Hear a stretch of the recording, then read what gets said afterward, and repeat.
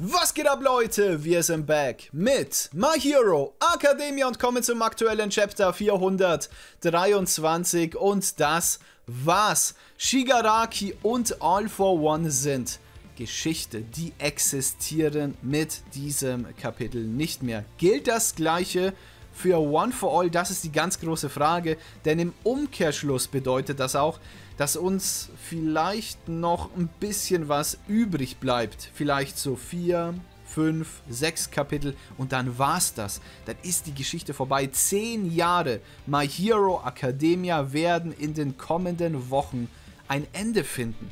Ich kann es ehrlich gesagt noch nicht ganz glauben, dass wir jetzt auf der Zielgeraden uns befinden, aber es ist so, Leute. Das ist crazy. Und deswegen werden wir uns diese Review ganz genau anschauen. Da gab es auch ein paar positive Aspekte, aber vielleicht auch ein paar negative Aspekte. Dementsprechend gehen wir jetzt rein. Das heißt auch für euch, lasst gerne ein Abo da, aktiviert die Glocke, Daumen nach oben nicht vergessen und ab dafür. So, Friends, wir wissen natürlich alle, wie das letzte Kapitel aufgehört hat, und zwar mit dem finalen Schlag von Deko. Und das war anscheinend wirklich der finale Schlag, wie es den Anschein hat, denn das ist der Schlag, der Shigaraki All for One ins Jenseits befördert. Dieser Schlag hat so viel Power, so viel Impact, dass es dazu führt, dass der Körper von Shigaraki All for One crumbled, also der zerfällt in alle Einzelteile. Und das ist interessant, wie ich finde, denn es gab ja auch lange Zeit Theorien und ich habe ja auch damals ein Theorievideo gemacht, was passieren würde, wenn Shigaraki One for All vollständig aufnehmen würde, dann würde es ihm ja genauso ergehen wie Deku oder zumindest die Vorstellung von Deku, die er hatte, als All Might ihm erklärt hat, ja, wenn du One for All einfach ohne Training übernimmst, dann wirst du zerbrechen, dann wirst du das Ganze nicht überstehen. Und wie wir auch wissen, ist Shigaraki inzwischen ein Rentner, also er hat den Körper eines Rentners, dementsprechend ist der Körper viel fragiler. Und wenn jetzt Deko diesen Transfer vollständig abschließen würde, dann würde ja auch vom Prinzip her sein Körper zerstört werden. Das ist passiert und somit ist diese alte Theorie tatsächlich wahr geworden. Aber es ist nicht so, dass Shigaraki One for All geklaut hat, sondern dass Deku gewaltsam One for All in Shigaraki oder in All for One reingezimmert hat, was eben dann diesen Zerfall forciert hat. Und das ist hier der ganz kleine, aber feine Unterschied. Was aber noch zusätzlich dazu kommt, ist die Tatsache, dass Deku One for All zwei weitere Jahre kultiviert hat. Das heißt, diese zwei Jahre kommen auch nochmal hinzu und dementsprechend ist diese Zerstörung deutlich stärker, als wenn es zum Beispiel All Might gemacht hätte. Da sind ja noch die ganzen Quirks dabei, die sind ja dementsprechend deutlich stärker geworden durch One for All. Denn die Quirks haben ja dazu geführt, dass der Körper bzw. die Seele zerstört wurde und somit ist das eine zum anderen gekommen. Durch das letzte Kapitel konnten wir eine weitere ganz spannende Sache beobachten, und zwar das Loch von All for One. Das hat zum Bluten angefangen und ich habe mir dann schon so ein bisschen gedacht, ja, was hat das denn für einen Sinn? Und da haben wir auch die Antwort, denn die Superregeneration funktioniert nicht mehr, die hat ihre Grenze erreicht und somit ist der Körper nicht mehr auf dem Level, wie er eigentlich sein sollte. Das kommt zum einen aufgrund von One for All, aber auf der anderen Seite durch Danger Sense oder durch die Klasse 1a, die natürlich alleinstehend keine Bedrohung sind, aber im Kollektiv sind sie durchaus gefährlich und das hat eben auch dazu geführt, dass Danger Sense die Sinne abgestumpft hat. Also genau die Problematik, die ich auch schon mal des Öfteren angesprochen habe. Wenn zu viel Danger Sense ist, dann wird man irgendwann Baller Baller in der Birne und das ist anscheinend bei All for One passiert. Und das konnten wir auch schon bereits in vergangenen Kapiteln beobachten, dass man immer wieder Danger Sense gesehen hat, immer hier und da mal ein bisschen. Das heißt, er war da schon ziemlich an der Grenze und jetzt ist es eben so dazu gekommen, dass er gar nicht mehr gecheckt hat, was eigentlich abgeht oder seinen Körper im Auge behalten konnte, weil überall Gefahr war an allen Ecken und Enden. Der Schlag von Deko war auf jeden Fall alles entscheidend, aber das führt nicht nur dazu, dass der Körper von Shigaraki All for One zerfällt, auch die ganzen Quirks, die sich ausgebreitet haben auf dem Schlachtfeld, die beginnen zu verschwinden. Also ist das wirklich eine Alles- oder Nichts-Auflösaktion, die hier All for One unfreiwillig betreibt. Er versucht natürlich alles Erdenkliche, um den Zerfall aufzuhalten, indem er mit seinen Quirks irgendwie den Körper zusammenhält, also notgedrungen zusammenhält und sagt, nö, es ist noch nicht vorbei, ich mach weiter, ich bin der Dämonenlord, ich bin derjenige, der alles plant, dies, das, Ananas. Und er will auch wieder ein neues Gefäß finden, damit er seinen Quirk und sich selbst in einen anderen Menschen transferiert, um diesen Körper dann zu übernehmen. Das ist ein ganz großer Plan und er kann einfach nicht loslassen. Aber Deku hat gar keinen Bock mehr und sagt, du bist fertig, All for One. Du hast fertig. Ich erledige dich hier und jetzt. Und jetzt kommt eine etwas überraschende Mini-Wendung in diesem Kapitel und zwar schaltet sich Kurugiri ein, der das Ganze nicht akzeptieren kann, dass All for One den Körper von Shigaraki übernommen hat und versucht jetzt Shigaraki zu retten.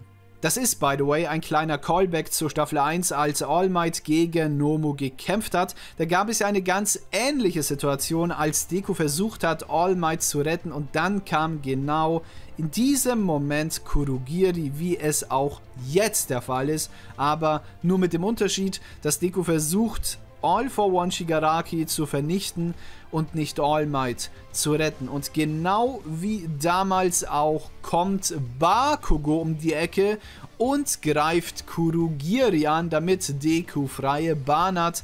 Und das ist für viele ein bisschen weird und ich muss sagen, ich fand es auch weird, denn Bakugo war ja eigentlich am Boden und hat gar nichts mehr zu melden gehabt im finalen Kampf, aber ich denke, man wollte da unbedingt diese Parallele einbauen.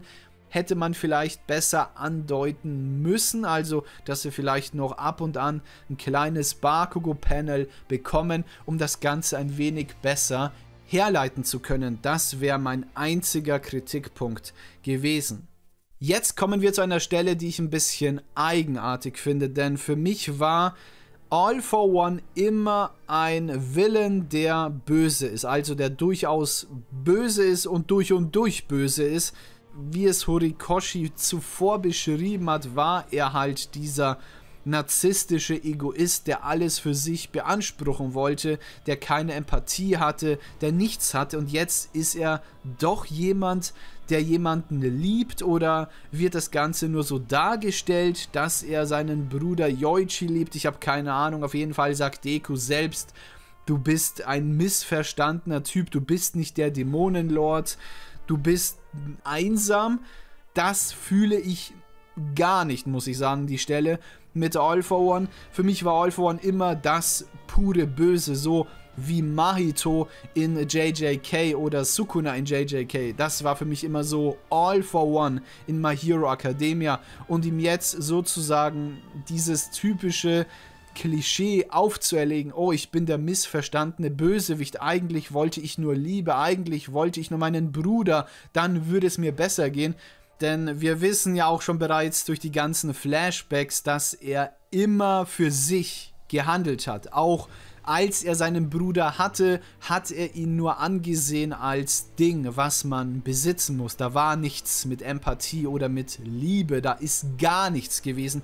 Deswegen finde ich das in diesem Aspekt schon eigenartig von Horikoshi, das jetzt so darzustellen, aber sei es drum, das müssen wir mehr oder weniger akzeptieren, wie All for One nun zu Ende geschrieben wurde. Was ich hingegen aber gut finde, dass die ganze Thematik mit All for One und One for All weiter beleuchtet wird, denn All for One wollte immer seinen Bruder bei sich.